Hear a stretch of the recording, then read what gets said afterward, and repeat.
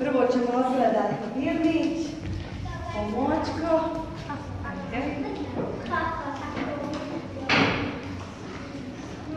Izvolite, izvolite.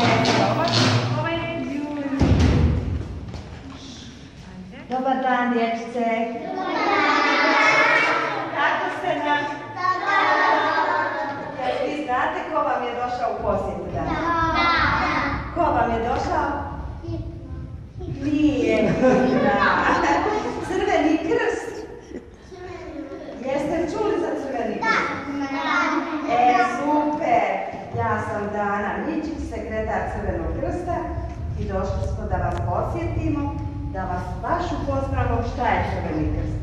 Da Crveni krst nije hitna, to je bolnica, a mi smo Crveni krst humanitarna organizacija koja pomažemo djeci, starim, iznemoglim, e, svima kojima je potrebno, socijalno okruženi i došli smo svake godine tradicionalno dolazimo baš na pić.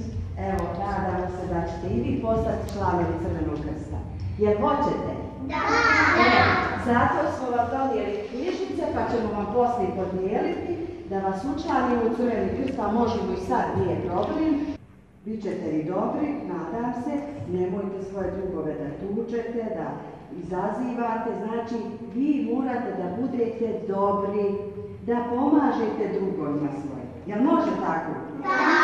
to je misija Crvenog sad da znate da je ovo Crveni krst, došli smo vam malo u posjetu, da donijemo neki malo kiša, malo igračaka i nadamo se da ćete biti dobri i vidimo se iduće godine. Jel može?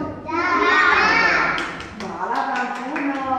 Evo ovdje su i volonteri i predsjednik naš Crvenog krsta, mogu i oni da nas se pre- predstave. Evo vidite ovi mladi, i oni su bili u vrtiću, pa su bili u školi, pa u srednjoj, pa su završili. Evo već su na fakultetu i, i dalje pomažu ljudima, pomažu dječici, pomažu životinjama i svima ostalima.